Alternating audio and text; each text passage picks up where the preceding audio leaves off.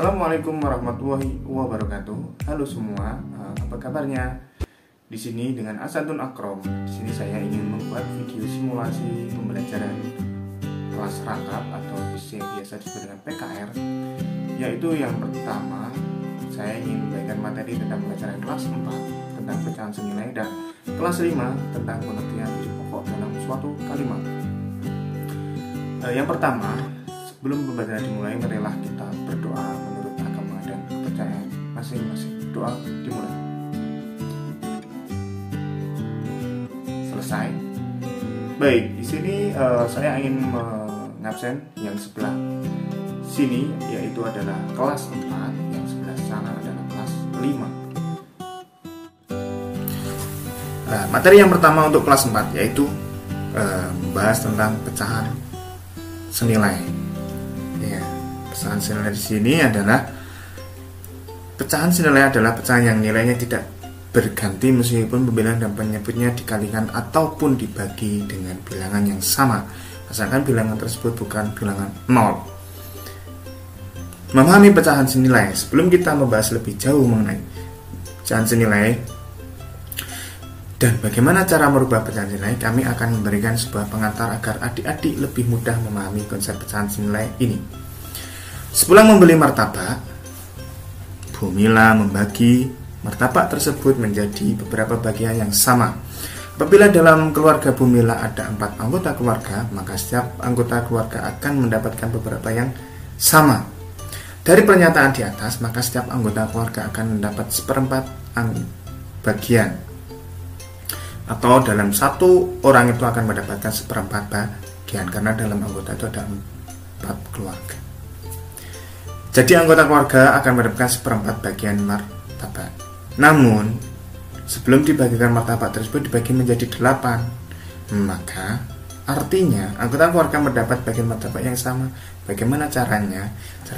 8 dibagi 4 sama dengan 2 Jadi setiap anggota akan mendapatkan 2 per 8 atau kita sederhanakan sama dengan adalah 1 per 4 Jika sebelumnya sudah dipotong menjadi 12 bagian Maka kita bagi saja 12 Kita bagi menjadi 4 anggota sama dengan 3 Jadi setiap anggota akan mendapatkan 3 per 12 bagian Atau jika disederhanakan 3 per 12 bagian akan mendapatkan 3 per 12 dibagi 3 per 3 sama dengan 1 per 4 contohnya seperti ini.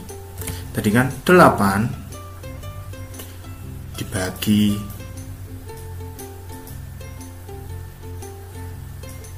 4 karena ada 4 anggota keluarga sama dengan 2 sehingga pecahannya jadi 2 per 8 jika menjadi 12 12 dibagi 4 sama dengan 3 jadi setiap anggota akan mendapatkan 3 per 12 atau kita sederhanakan 3 per 12 dibagi 3 per 3 sama dengan 1 per 4 contoh pada gambarnya adalah seperti ini.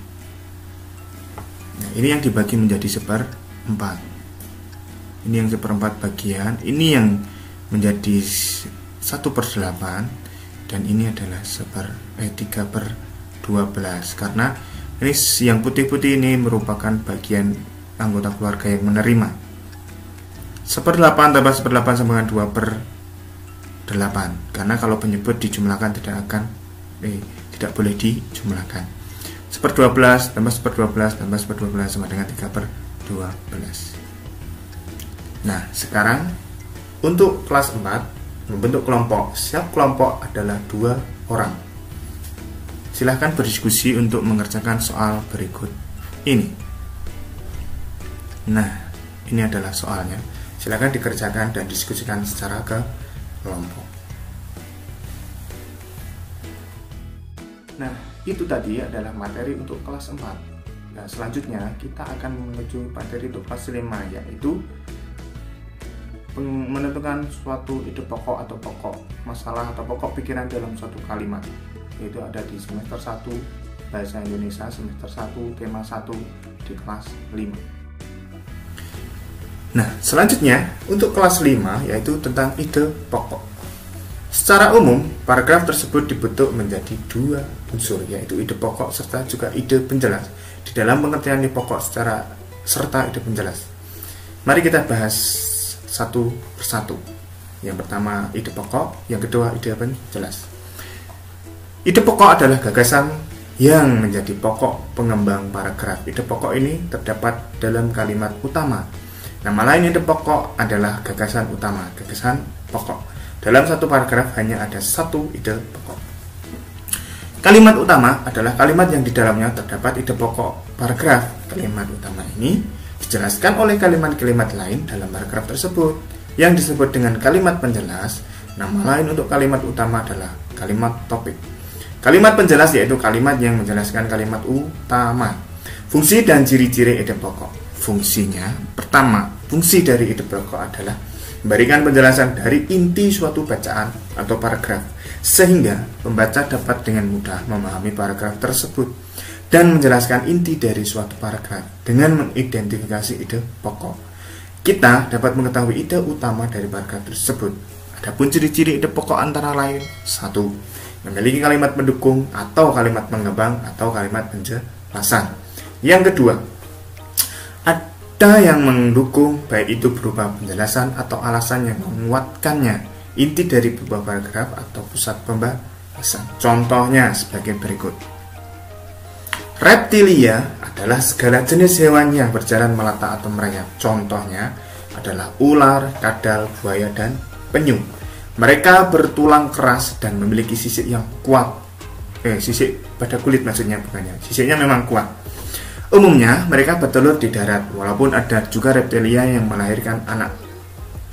Reptilia adalah hewan berdarah dingin. Suhu tubuhnya menyesuaikan suhu udara luar. Namun, hal ini tidak berarti hewan reptilia suka dengan dingin atau suka daerah dingin. Reptilia tidak tahan hawa dingin. Tidak ada reptilia yang tinggal di daerah kutub. Nah, ide pokok atau kalimat utama, kalimat utama dari paragraf di atas adalah Reptilia adalah segala jenis hewan yang berjalan melata atau merayap. Ide pokok dari paragraf ini adalah pembahasan tentang reptilia. Dari ide pokok ini kita dapat mengetahui apa isi dari keseluruhan paragraf. Yang ini istilah lain dari ide pokok adalah gagasan utama, gagasan pokok, pokok pikiran, pokok masalah, pokok utama, dan lain sebagainya. Pada dasarnya sama. Cara menentukan ide pokok. Nah, ini. Ide pokok itu biasanya kalau tidak di kalimat awal yaitu di akhir. Atau ya seperti itu. Karena ada kalian kan ada paragraf deduktif induktif dan seperti itu. Seperti contoh ini Indonesia memiliki kekayaan alam yang sangat melimpah. Alam tersebut terdiri dari kekayaan alam yang bersumber dari darat laut dan dari dalam perut bumi kekayaan alam yang bersumber dari darat misalnya hasil hutan Sedangkan kekayaan alam yang bersumber dari laut misalnya ikan, rumput laut, dan mutiara. Sementara kekayaan alam yang bersumber dari dalam perut bumi misalnya minyak, bumi, batu bara, emas, timah, nikel, dan sebagainya. Ide pokok paragraf di atas terletak pada kalimat pertama karena kalimat pertama merupakan kalimat utama. Dengan demikian, ide pokok dari paragraf di atas yaitu Indonesia memiliki kekayaan alam yang sangat melimpah dan kayaknya alam Indonesia sangat melimpah. Paragraf yang memiliki kalimat utama, cara menerangkan pokok pada paragraf yang tidak memiliki kalimat utama yaitu dengan menyimpulkan isi paragraf tersebut. Nah, sekarang untuk kelas 5 seperti kelas 4 membentuk kelompok dengan kelompoknya dua orang kita berdiskusi kita membahas uh, paragraf berikut untuk menentukan ide pokoknya seperti apa. Persilahkan. Demikianlah adalah simulasi pembelajaran kelas rangkap yang mana saya di sini menyampaikan materi tentang kelas 4 yaitu tentang matematika tentang mata pelajaran pecahan senilai yang kelas 5-nya adalah tentang ide pokok. Semoga dalam video ini bisa membantu rekan-rekan semua yang e, merasa kesulitan dalam melakukan pembelajaran kelas rangkap. Ya, pembelajaran kali ini jauh dari kata sempurna, tapi semoga bermanfaat bagi semuanya. Assalamualaikum warahmatullahi wabarakatuh.